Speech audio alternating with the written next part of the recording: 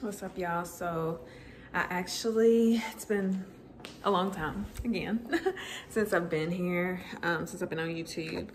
And I was not going to share this word. I was just gonna kind of keep it to myself because, um, you know, that's that's just what I've been, you know, doing. I've just been seeking the Lord and talking to him, being real honest with him, honest and open about everything. And so when I had this dream, and the Lord has been literally talking to me about this for probably about a month now. Um, I wasn't gonna come on here and share it with y'all. I just knew that it was just my dream, my dream, or my word, and my word alone. So I wasn't gonna share it with anyone. But I feel led by the Lord to share. So, first, I want to give you the scripture. The scripture is Isaiah 43 and 19. And God is saying, Behold, I do a new thing, and now it springs forth. Shall you not perceive it? And the Lord has been talking to me for the past month about him doing new things. He's doing something new. He's doing something new. And you know, I definitely know I'm in this new season. I've moved. I'm in this new home. I love it, by the way, for um, those of you who are wondering. I love my home. Like, it's so peaceful. It's just so me. And, but I just kept getting that word. I'm doing something new. I'm doing something new. And he would confirm it like every day. He's been confirming it every day in a different way for a month. And I'm just like, okay you're doing something new. What what is what is the new thing that you're doing? I mean, yeah, I moved, but what is the new thing that you're doing? And you know, I still believe that that's being unfolded, but I had a dream the other night. It's probably maybe what like three, four days ago. And so it's multiple parts to the dream. Um,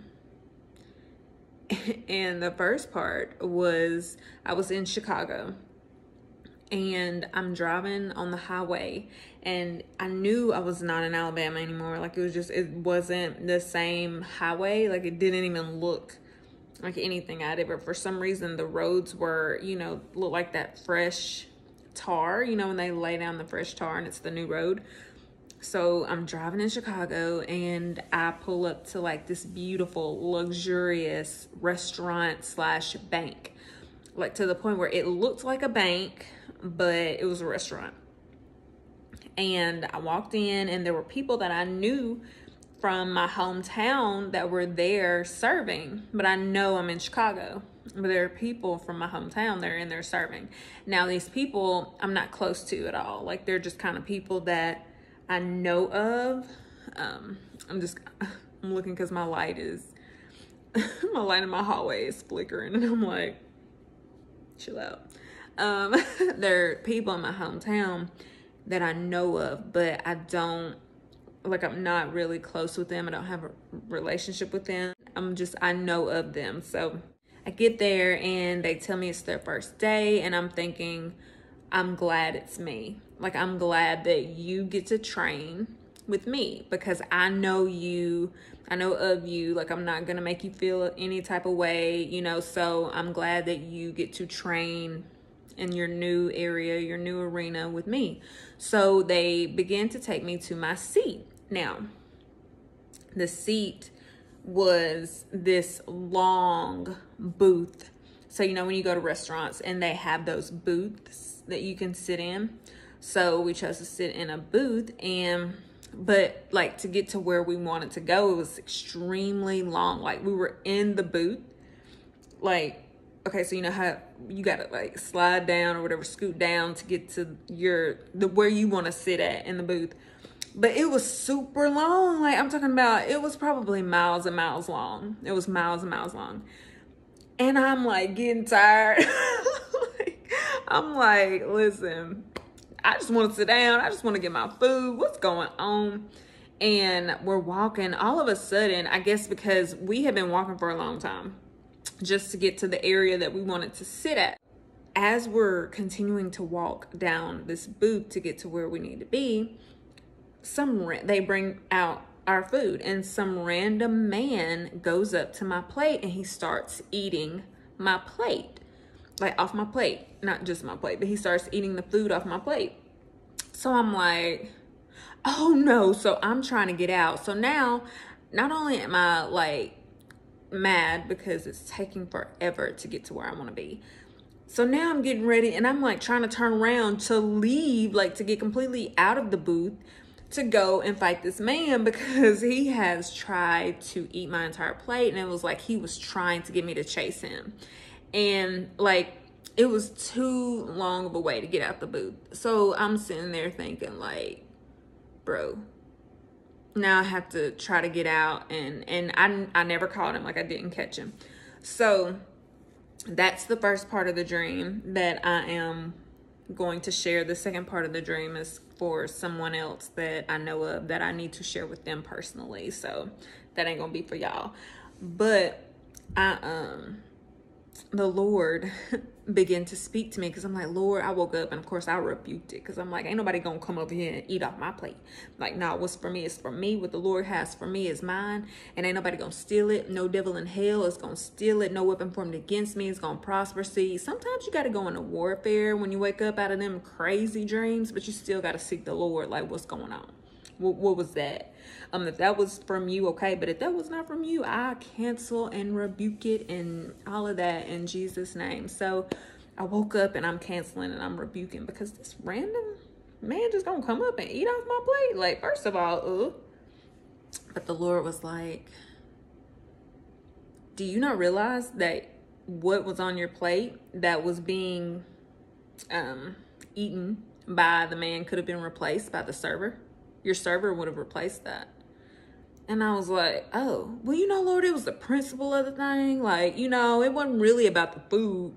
It was about the fact that he had the audacity to come up. and the Lord was like, you should never chase what I'm going to replace. That thing slapped me straight in the face, y'all. You should never chase what the Lord intends to replace and see the reason that it was taking so long to get to where we had to be was because that represents like your journey in life. And sometimes we're on a journey and it can seem long and it can seem like, gosh, everything is just happening. And it can even seem like, you know, you're never going to get there. It can seem like, you know, this is, this is just, like, what is, what is this? You know, y'all ever, I mean, I'm, I'm there with some things like, what in the world is this? Like, why can't I get this figured out? Or why can't this just change? And the Lord is like, you know, that along that journey in life, things are going to, you know, come up or happen or whatever. But you should never try to chase what I intend to replace See, I don't know whether or not that was really the plate that was intended for me or not. Now, in my dream, I thought, to me, I thought because it was in the same, like it was on the same table, it was in my pathway. So I assumed it was it was mine. And that's like a lot of us who maybe even with jobs, we assume that the job is ours. We assume that the promotion is ours. We assume that the husband is ours. Or for you men, you assume, we assume that the wife is ours. We assume that whatever is ours. And so we're, because, because the journey is so long, right? You would think, well, surely they ain't got me on this long journey and they gonna have the food ready. Surely God ain't got me on this long journey and he got my husband ready. Surely God ain't got me on this long journey. Surely God ain't had me on this job for six years and, and that ain't my promotion. Surely, right? Right? And um, the Lord was like, How do you know that was even meant for you? How do you know? And if it was, you could have told your server, and your server could have replaced it and a lot of times like we just get so bent out of shape. Like man i really thought he was the one. And he ended up being a jerk just like everybody else. Or man i really thought that this job was the one. I've been on this job for 10 years. Or man i really thought i had a friend and and she turned around and she stabbed me in the back. Or i really thought you know we have these expectations. And then god is like yeah, but when your expectations are broken, you can simply go to him in prayer and trust that he will replace it. Like he's not going to ever leave you looking crazy and that's that's a word for somebody in itself. That's not the word that um that this is about, but that's a word for somebody. God ain't gonna never just have you out there looking crazy. It wasn't for you. Maybe you thought it was and it just wasn't. Um, but the Lord wanted me to, to to come and tell someone don't chase what God is trying to replace. Some of you are holding on so tight. There are so many prophetic words about marriage right now. And I know because I'm watching and listening to all of them because no, I'm not gonna say too much, but I have been watching. But everywhere you turn, somebody is prophesying about marriage. Everywhere you turn, somebody has just created like like there's so many marriage relationship prophetic word channels. And i love that. Encourage women encourage men encourage those that believe that god has marriage for them. I'm not saying anything against that. Sometimes you just got to come in with truth. Some of us y'all us, we are waiting for things that were never intended for us. You're waiting on a man that was never your man. You're waiting on a job that God did not intend you to have. You are waiting for a promotion, but God wants you to start a business. Or you're trying to start a business and you're waiting on your first customer, but God wants you to go full force in in your 9 to 5 because he has promotion for you there. He has provision for you there. And so, you know, sometimes we are um just waiting for things that are not ours. Because God wants to do something new. And when when he began to speak to me about that you know I even had to repent about what I was expecting. You know repenting for my expectations of what I thought it would look like feel like smell like you know. Because I don't know. God sits high and he looks low. I don't know what he has in store for me. I can only pray that whatever did not meet my expectation that he would replace it. And from that dream, he was saying it is his it is his heart and love for you to replace whatever was stolen, whatever broke your heart, whatever broke your expectation. He's going to replace it and he's going to replace it with something new and better. Just be encouraged that you don't have to chase what God is going to replace. God is willing to replace every broken expectation in your life. You just have to trust Him. So, Father God, I pray for the person on the other side of that screen.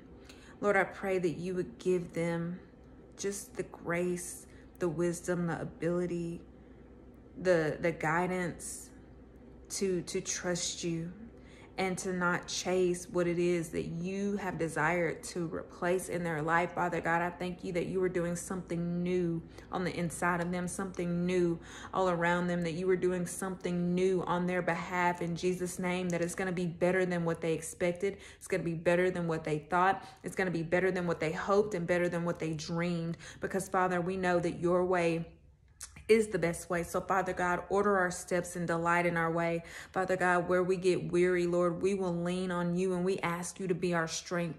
Father God, we ask you to hold us up in every area that we feel like we're about to let go.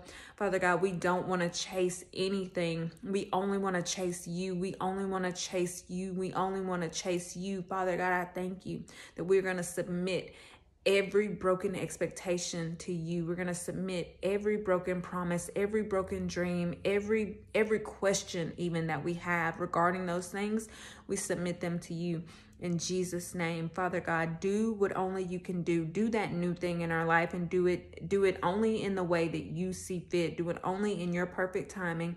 And Father God I pray right now for the person that's over there on the other side of that screen that feels defeated Lord, they feel defeated and they feel like the journey has been too long. And Father God, I just speak that that Galatians 6 and 9 over them.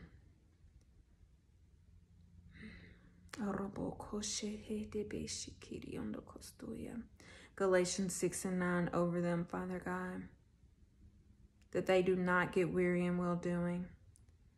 That in due season they will reap the harvest if they do not faint. So, Father God, I thank you that due season is a place, that due season is a place that they are still on time, they are still going to make the appointed time that you have set before the foundations of the world. In Jesus' name. Thank you, Father. We love you. We give you all the glory and all the praise. Amen. So y'all know I have not abandoned you. I just I feel like I have to say that now. I have not abandoned you. I still love you guys so much. I'm just, you know, y'all pray for me. I'm just I'm really on a journey right now with the Lord. So y'all pray with me or pray for me and um I will see you next time.